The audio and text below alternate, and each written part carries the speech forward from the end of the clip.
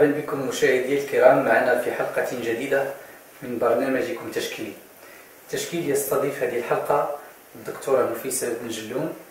الأستاذة نفيسة بن جلون هي فنانة تشكيلية أولا وكاتبة وطبيبة. أه، سنتعرف من خلال هذه الحلقة على تجاربها الفنية وعلى كتاباتها الإبداعية وعلى سيرتها الفنية. مرحبا بك الأستاذة نفيسة بن جلون. وشكرا على قبول الدعوة. شكرا سمتي السؤال الأول الاعتيادي آه، هو نقرب الفنانة التشكيلية إلى الجمهور الكريم آه، من هي نفيسة بن جلون؟ آه، أنا خلقت مدينة فاس في تحفة معمارية أقسام بي في وسط فني عندي باسيتي الله يرحمه من جلون كان داير أوركستر جوق ديال الموسيقى الأندلسية والوالد تيدير البيانو وعندي خالته وشعير بروفيسور مجيد جلون الفرنسيه ماشي هذيك اللي كتب الطفولة. ودوك ومدينه فاس كلشي تعرفها مدينه زعما تحفه من ناحيه علميه ودينيه هادشي كله زعما مدينة فاس آه. ومن بعد المشوار من بعد مدينة فاس. مشينا لقنيطرة. تما عملت الدراسات الابتدائيه والثانويه في قنيطرة. كانت سميتو في الأول طولوتي بعد طلعنا للرباط تما دوزت البكالوريا في لا. لا مشيت للرباط دوزت الباك في الفلسفه دخلت الكليه ديال الطب وبعد ديت الطب النفسي psychiatrie اول فوج ديال الطب النفسي في المغرب هما حنا أنا كنت المره الاولى النساء النساء الاولى اللي اللي قريت الطب النفسي في المغرب ومن بعد واحد النهار مشيت مشيت ندير تمرين في سويسرا كانت طبيبه آه، في الطب النفسي في لوزان وفي مارسانس وتما كانت عندنا واحد المكتبه فيها الكتب ديال كلشي وخصوصا ديال ديال الفن. النهار خديت كتاب ديال ميلي آه، وفون كوغ خدا داك الرسومات ديال ميلي. وبديت نصور. وشاف شافوا الأستاذ ديالنا واحد غزال باغان واحد إسبانيول آه، إسبانيولي وعنده إيمان بالفن. قال لي واش عمرك درستي الفن؟ قلت له لا صورت الزهور وهذا. قال لي آه انت عندك موهبة. يعني التجارب الأولى ديال الفن كانت حتى من بعد الدراسات الجامعية. بعد الدراسات الابتدائي الابتدائي والإعدادي والثانوي ما كانش دراسة فنية نهائيا لا على المستوى أو كانت عندكم دراسة ديال ال dessin مثلا la peinture كذا كانت؟ كانت واحد كان واحد درس ديال الرسم اللي بقات عاقلة هي في الثانوي. صورت واحد هذاك الدوران ديال ديك الألوان. دابا. وأنا كيفاش عيطت له المهم ما خلاتليش شي حاجة ما ما نقولش تأثر بداك لي زعما بصراحة كانت شي حاجة بسيطة. يعني البدايات الأولى إلا بغينا نلخصوا كانت خارج المغرب. خارج المغرب. كانت خارج المغرب. وانت في تخصص بحكم علم النفس وكذا. يعني اللي بغيت نقول لك هو آه إلا رجعنا لابد كتكون البدايات في الصغر. واخا ما كانش على ما أعتقد واخا ما كانش يعني دراسة أو إلمام أو دي تخاص اللي كطو ولكن لابد غيكونوا في في اللاوعي ديالنا كاين يمكن بدايات أولى راجع للطفولة الطفوله راجع للتكوين. من خلال الكلام ديالكم فهمت أن تربيتي في أسرة فنية سواء الموسيقى أو الشعر أو الكتابة يعني أسرة فنية تؤثر وكذلك المدينة كذلك لأن كلها معمار والمعمار هو جزء من الفن كلها يعني الثقافه كذلك. هذه ربما بدايات أولى يمكن ديال الفن. هذه مهمة حتى نعمل بوحدي نشوف شنو الأسس ديال الابداع الفني والكتابه واحد النهار كنت في اليمن كان عندنا واحد المؤتمر وداو لي واحد المعرض ممتاز ممتاز في صنعاء في جامعه جامعة النصر وكنت هابطة من من وزارة الثقافة ديالهم وأنا تنشوف داك الدجاج les vitraux. الدجاج ملولين نعم. وأنا تعمل وتصورهم شفتو تصاور واحد داك les plages de couleurs عندي. هذيك خديتها من دار به كانوا عندنا داك داك الدجاج كله ملون غزال وداك الشيء والموزايك خاصيت شحال هادي يمكن ديك المعرض الأولى كان عامل يكتب عليا تيقول les mosaïques ديال نفيسه داك الشيء تيبقى عندك الحق. تي تي تي تي تي تي شي نهار تيخرج كيخرج. إلا كنتي صادق داك الفيلم ديالك تيخرج. على بها تيكون غالي حيت عشتي وشفتي وهذاك الألوان. ممكن نعتبر الدكتورة نفيسة بن جلون هي فنانة عصامية. عصاميه عصاميه التكوين بحكم بحكم انك ما تلقيتيش آه، دروس في التعليم الفني في بحال كلية الفنون الجميلة أو كذا بمعنى أن البدايات الحقيقية كانت خارج المغرب. خارج المغرب. خارج المغرب. وما العلاقة؟ ما العلاقة ما بين التكوين اللي هو الطب والفن التشكيلي؟ هل هناك علاقة أم؟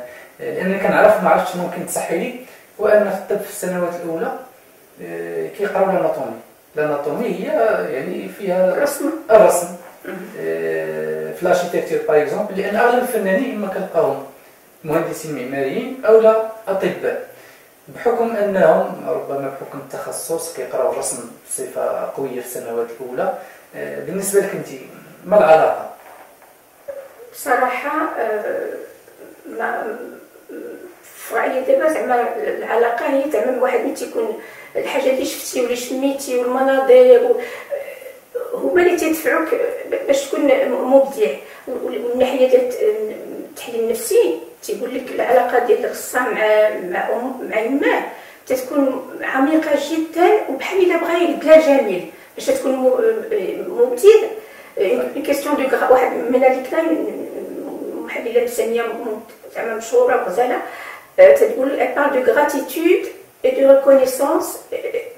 من ناحيه ديك العاطفه اللي عطاتك يماك هو دابا الا جيتي تشوف الواحد كي تيكون فنان كان دوافع كثيره كثيره واكثريه الطفوله الطفوله كل شيء طفوله أربع سنين خمس سنين ست سنين سبع سنين قبل سبع سنين اكثريه ديال الشخصيه كلها في هذيك الفترة الانسان راه كيتولد داخله فنان ولكن ومع البيئه حتى البيئه من بعد ولكن ممكن ما تظهر حتى من بعد 60 عام اييه بعد ما تتبان معها طلع معلوم كاين اللي تيكتب حتى من بعد 60 عام تيبدا يكتب.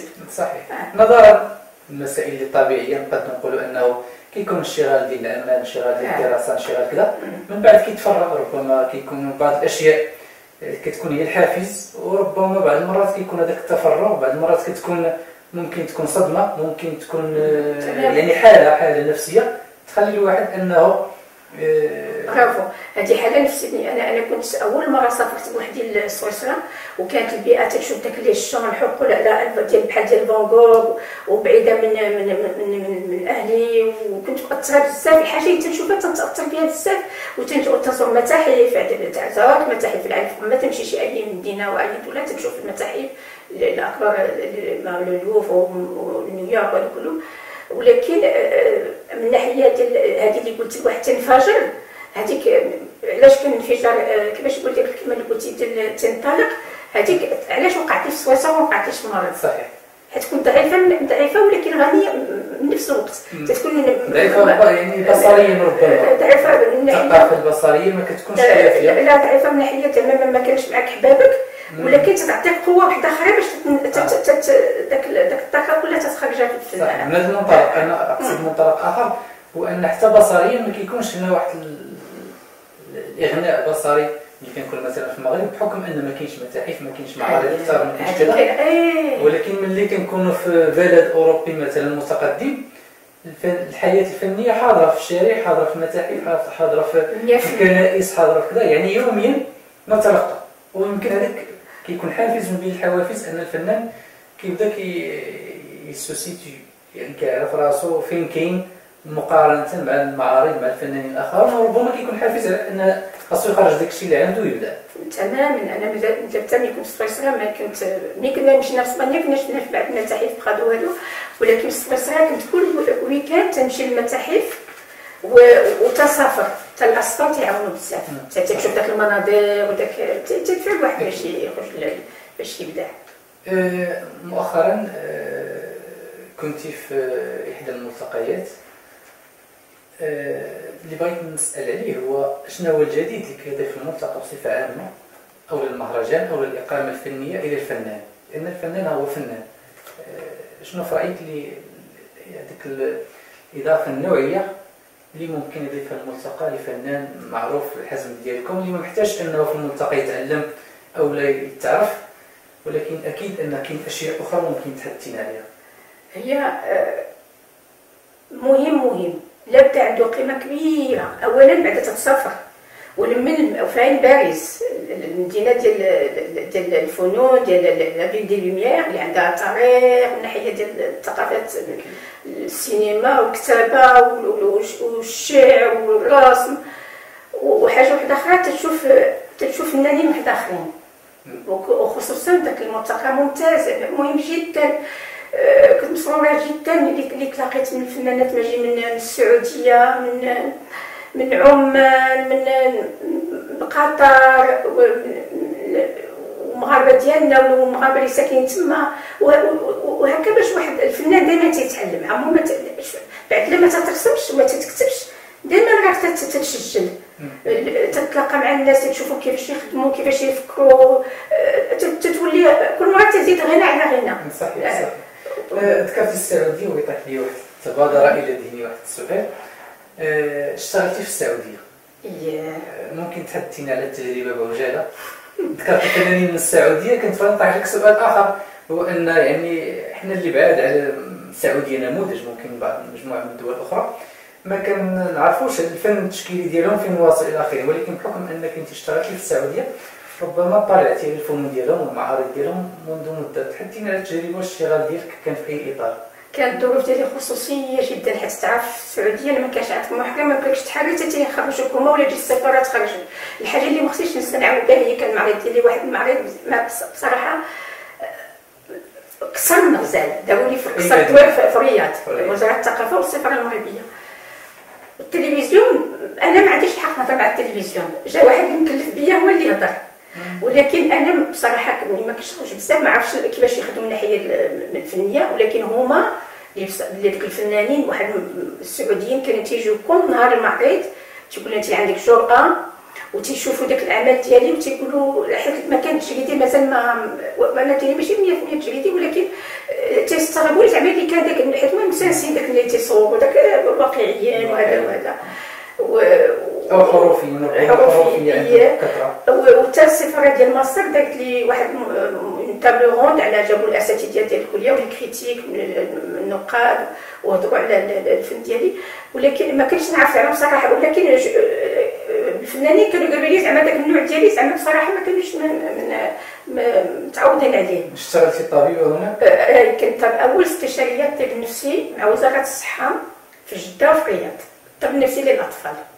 خدمت في في مستشفى سليم السليمانيه ديال في الرياض مستشفى ديال الأمراض النفسية ديال الرياض وعاود مشيت لجده المستشفى ديال الطب النفسي ديال ديال وتعلمت أشياء كثيره تلاقيتي مع فنانين هناك؟ في المعرض ديالي حيت حنا الظروف زعما ما كنتش تخرج زعما هذاك الظروف ولكن كانت تجربة غنية جدا من ناحية الطب النفسي.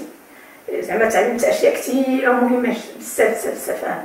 سؤال آخر اللي بغيت نسولك شكون هو الفنان أو الشخص اللي تحسين أنه أقرب إليك؟ واش واحد الفنان اللي ممكن غير يقلدك ويمشي مع الاتجاه ديالك أو ربما يجاملك أو يقول لك أن الأعمال ديالك كتعجبو أو فنان آخر يناقضك ويقدر يقول لك أن الأعمال ديالك يقدر يوصل انه ما كتعجبكش ويقول لك أن الأعمال ديالك لا تعجبني أو لا. يعني شكون هو اللي اللي تحسي به أقرب إليك؟ اللي تناقضني بصفة صريحة بلا زعما بلا ما يكون ناوي شي نيه سيئة.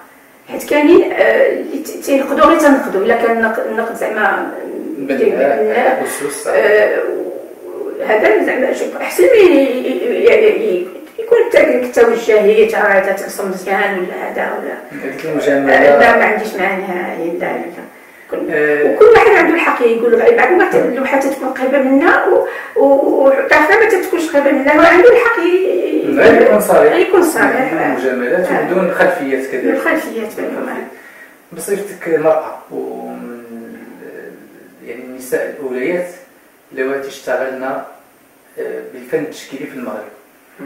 واش يعني لقيتي صعوبة لشق الطريق؟ لأن ربما قد نقولوا أن الفنان التشكيلي الرجل كيلقى الطريق والسير شحال هذه ماشي دابا دابا كاينة المساواة 100% ما لقيتيش صعوبة وانت مرأة كتشتغلي في مجال الفن التشكيلي لا عمري ما حسيت بها. وهذه باش نمشي بعيد ما عرفتش عندي الحق نقولها في هذا البرنامج.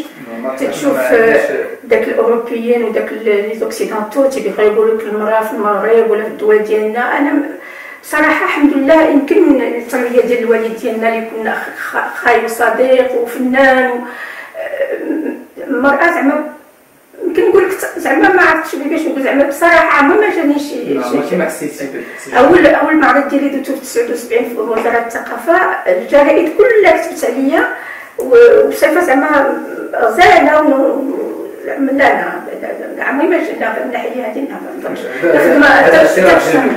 تشتغل تشتغل تعرفوا القيمه ديالك تيكتبوا عليك تحترم الناس تيحترموك واحد تحترم راسك ما تيحترموك حيت من نبيله خصها الواحد يكون ديك محترم. هذا اعتراف جميل لأن بعض الفنانين الاخرين كيقول لك لا بحكم أنني مرأة يمكن نعم. تهمشت أو كذا. مزيان بعد سمعناها منك.